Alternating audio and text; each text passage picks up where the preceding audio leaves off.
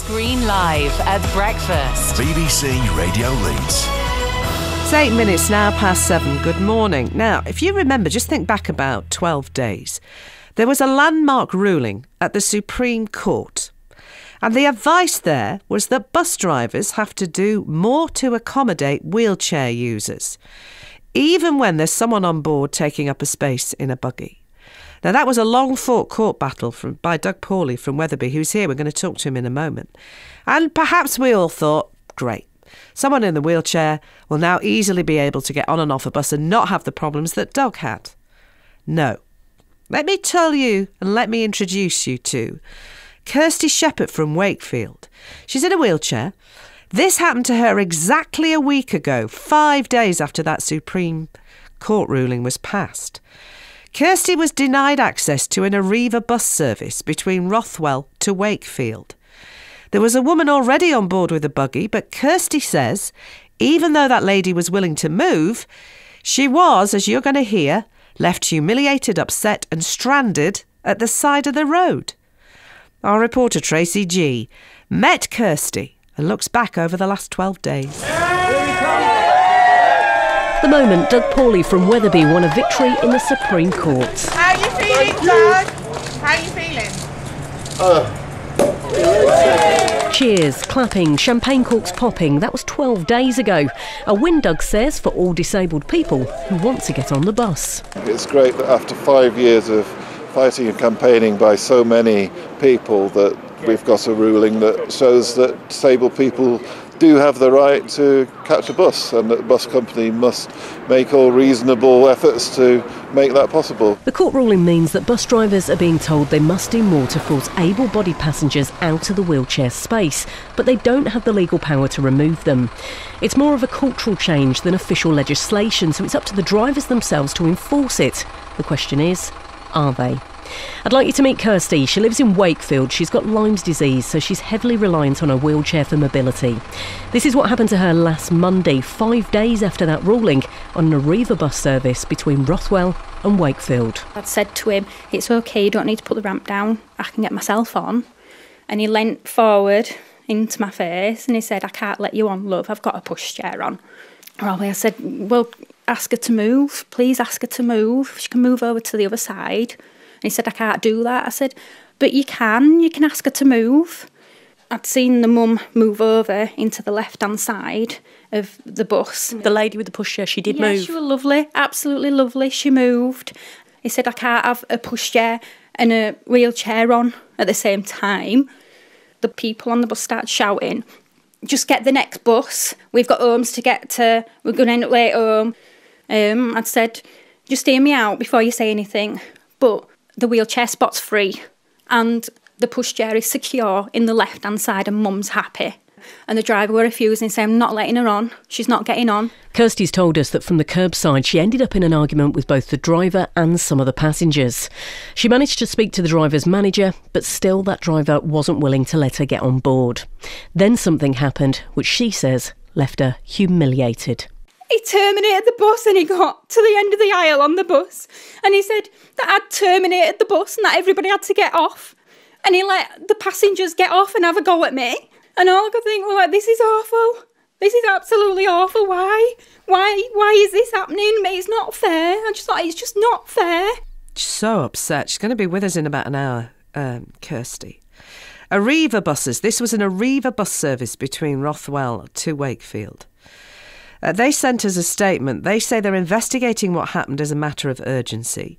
The company says it's downloading CCTV footage and speaking to those involved. Well, the man that won the victory in the Supreme Court is Doug Paulley from Wetherby.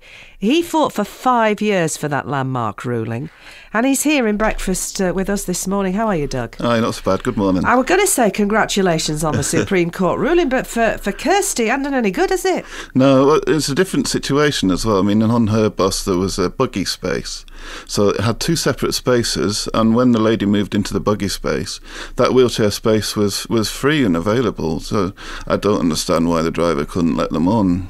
I wondered at the time it was a victory and congratulations on it. And for mm-hmm. anyone, I've got my grandmother is in a wheelchair, and I just know how hard life is. I do, and how people you're invisible. It's just shocking. However.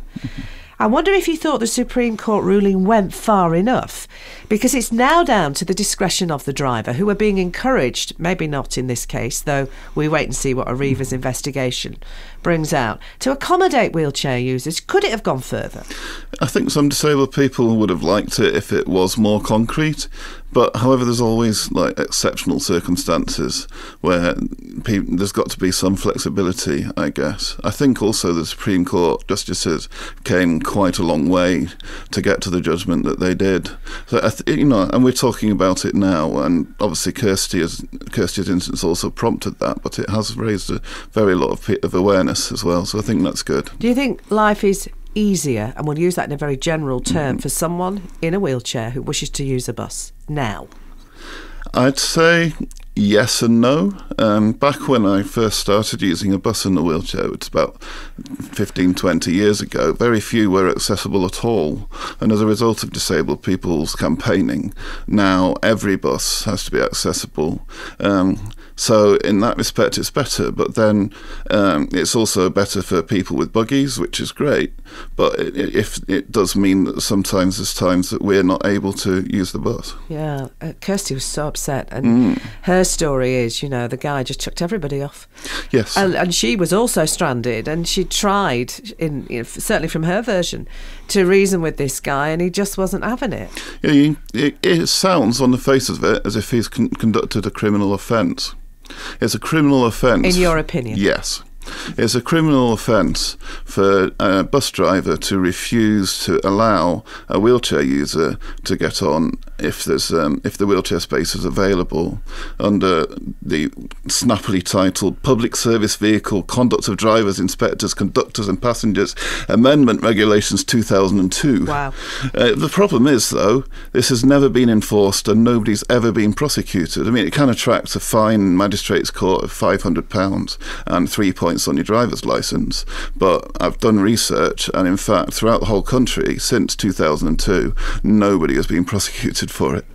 Well, we'll see what Kirsty wants to do. We'll meet her in an hour. It's a pleasure to meet you. Congratulations on your victory, and I hope at no point in the future do we have to meet with a story like. Wouldn't that be brilliant? It would. Not it that I don't want to see you because I would. If everybody could travel on the bus without any issues, including people with buggies, that would be brilliant. Yes. Brilliant. Thanks, Doug Paulley. Lovely to see you from Wetherby, the man behind that victory in the Supreme Court. Kirsty, then, here in an hour. Well, I'd like you to meet Kirsty Shepherd from Wakefield. Good morning. Morning. Morning. Now, you're in a wheelchair. I am. And you, exactly a week ago, had an encounter with an Arriva bus driver five days after what happened to Doug Yeah. there and his success. Tell me what happened to you. You were absolutely awful. I've never felt so humiliated and stressed in my life. Um, I tried to board a bus from Rothwell, uh, the triple four, and not only uh, did the driver not let me on, even though the pram mother had moved. Um, blessed, she were brilliant. She moved out the way. The bus driver wasn't even prepared to ask her. He wouldn't move, and there were a wheelchair, the wheelchair spot free. Um, she'd moved to the buggy bay on the left. Um, and he still wouldn't let me on. His manager told him twice and told me um, twice to that I could get on, and he still wouldn't let me on. And I was left by the roadside. But not only that, he um, terminated the bus. Told the whole bus um, that we terminated because of me. It was my fault. And the passengers had a go at me as they were Were they getting off. you? Yeah, Are you kidding horrible. me? Absolutely horrible. I've never felt. I've been through a lot, especially with going. Ended up in a wheelchair. I've been through a lot, and I've never felt so humiliated and stressed in my life. I mean, we, we've just let's just put this right about Arriva. Let me just tell you what they're saying. They've sent us a statement. They say they're investigating what happened as a matter of urgency. The company says it's downloading CCTV footage and speaking to those involved because you had a conversation with the bus driver, his manager, presumably on Yes, that's radio. right, on right, yeah. uh, and then we'll have to wait and see. They said they promised to conclude this investigation swiftly, so we've got to wait and see Yeah. what they say. I just think this is just so disappointing It is. on so many levels after Doug's victory. Yeah, the is. fact you couldn't get on a bus because you happened to be in a wheelchair. Yeah. And then you and all the other passengers were left on the pavement. I mean, was this was it a row then that was going on? Um, it was sort of like a, a row, a debate. Um, because as they were having a go at me getting off the bus and they were, they'd cornered the pram mum as well. Um, and I'd, t- I'd said, don't have a go at it, it's not her fault. She was really supportive of me. Um, and then the bus driver kept chipping in and said, It's your fault you've terminated this bus. And I'd said to him, Not once did I ever say terminate this bus. The thought never entered in my head. You just wanted to get on the bus. I just wanted to get on the bus and in get the home. wheelchair Yeah. and get home to Wakefield. Yeah, because it was so cold that day. It was absolutely freezing. It was late afternoon and it was freezing and it was so cold. Ever had a problem before? No, all the other buses, and they've been the same type of bus. There's been different buses, but I've been on plenty of buses that have been the same type. The pram's gone on the left, I've gone on the right, and it's never been an issue. And then the bus that I got on eventually got on 30 minutes later afterwards. You were in the call for 40 minutes. Near enough, yeah. The the um, pram, the water pram went on. She got on the left, I got on the right. Not an issue. All bus dri- the all other bus buses and bus drivers that I've been on have been absolutely fine. It was this one particular bus driver. We know Arriva are investigating and they're not here to answer, but what would you like to say to that bus company this morning? you, you need you need to make that a definite wheelchair spot. There should be no doubt at all. That is a wheelchair spot, but you should put your drivers through training and make that a definite wheelchair spot. And you need to be putting all of your drivers through a disability awareness, a really harsh disability awareness course for at least two days. Right? That's what you would recommend. Yeah, and I, I, I want that definite wheelchair spot so every wheelchair can get on the bus and there's no doubt about it. There's no issue. All right. I'm glad to see you. I can see how upset you've been. You've done really well with your story, and it's very grateful you're coming to see us. Thank you. Thank you very much. That's Kirsty Shepherd from Wakefield. Uh, and that's her story. So we'll let you know what Arriva say. They are investigating that. They said they'll have some answers quickly, and hopefully that will be the case.